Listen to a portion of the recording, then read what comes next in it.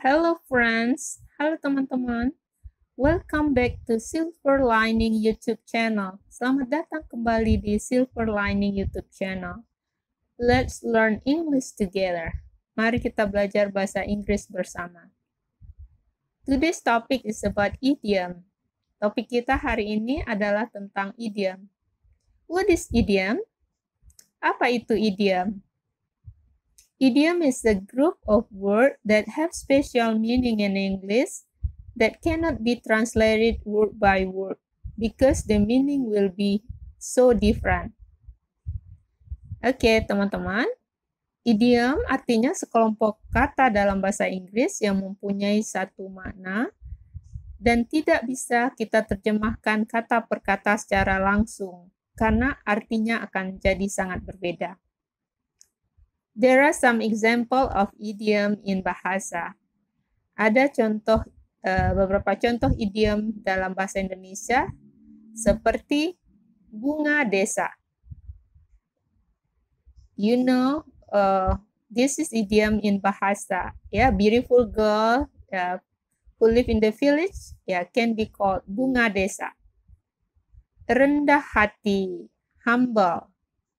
Buah bibir, the center of attention, talked by many people.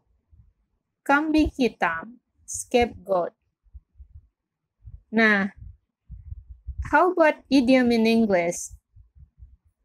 Let's see the example. Bagaimana dengan idiom dalam bahasa Inggris? Mari kita lihat contoh berikut. I will give you four examples. Uh, saya akan memberikan empat contoh. First, rain, cats, and dog. The example, we cannot go outside. It's raining cats and dog now. We cannot go outside. It's raining cats and dog now. Kita tidak bisa pergi keluar. Sekarang hujan deras. Kita tidak bisa keluar. Sekarang hujan deras. Yeah raining cats and dog. The second is it's just a piece of cake. Don't worry about the test it's just a piece of cake.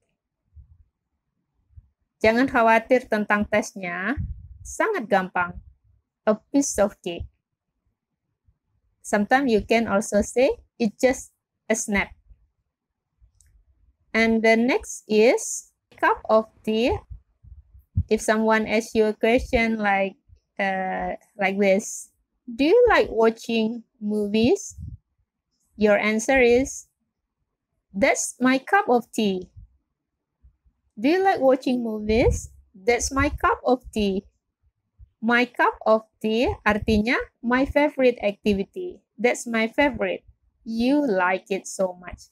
Jadi kalau kita sangat menyukai sesuatu kita bisa bilang my cup of tea And the last one is break a leg.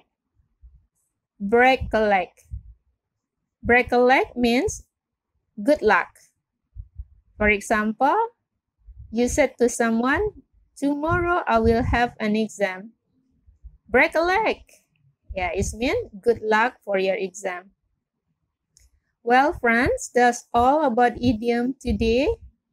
Hope you like it.